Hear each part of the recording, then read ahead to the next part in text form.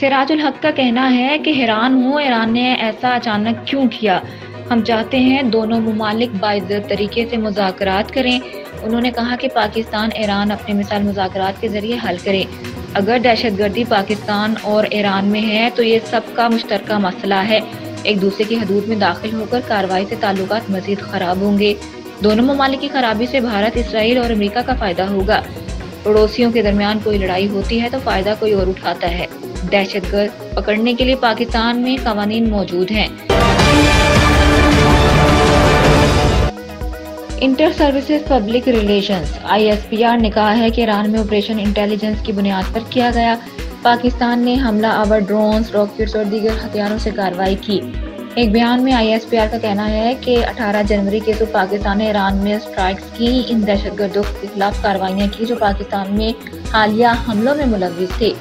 ISPR ने कहा कि बलोचिस्तान लिबरेशन आर्मी और बलोचिस्तान लिबरेशन फ्रंट की पनागाहों को कामयाबी से निशाना बनाया। इस ऑपरेशन का नाम मर्ग बर रखा गया। निशाना बनाए गए ठिकाने बदनामी जमाना दहशत गर्द इस्तेमाल कर रहे थे। आईएसपीआर ने कहा है कि पाकिस्तान की दहशत गर्दी की कार्रवाई के खिलाफ पाकिस्तानी शहरियों की हिफाजत को यकीनी बनाने के लिए मुस्तकिल तैयार हैं। हमारा आज़म है कि पाकिस्तान के इलाकाई हदूद की खुद मुख्तारी को हर सूरत में महफूज बनाएँगे। ये पनागाहें बदनामी जमाना दहशत गर्द इस्तेमाल कर रहे थे। पीटीआई रहनुमा बैरिस्टर गोहर खान ने कहा है कि मेरे घर जब कुछ लोग आए थे, तब ही दो मोबाइल फ़ोन गायब हैं। ये बात पीटीआई रहनुमा बैरिस्टर गोहर अली खान ने वफाक दारकूमत इस्लामाबाद में इलेक्शन कमीशन ऑफ़ पाकिस्तान के बाहर मीडिया से बात के दौरान कही। उनका कहना था कि मुझे बताया गया है कि मोबाइल इस वक्त किसी की तहवील में नहीं है। मैंने लोकेशन चेक करवाई, एक मोबाइल की लोकेशन ई इलेवन की है। कोशिश थी कि हमारा मुश्तरक इंतबी निशान हो ताकि वोटर कन्फ्यूज़न का शिकार ना हो। मैं एक दरख्वास्त के प्रोसेस के लिए इलेक्शन कमीशन आया था। उम्मीदवार आज़ाद हैं हॉर्स राइडिंग के खदशात मौजूद हैं, लेकिन हमारे साथ मुख्त पार्टी उम्मीदवार मैदान में हैं। मुश्किल वक्त में वर्कर्स हमारे साथ हैं, उम्मीद है कि वो करप्शन नहीं करेंगे।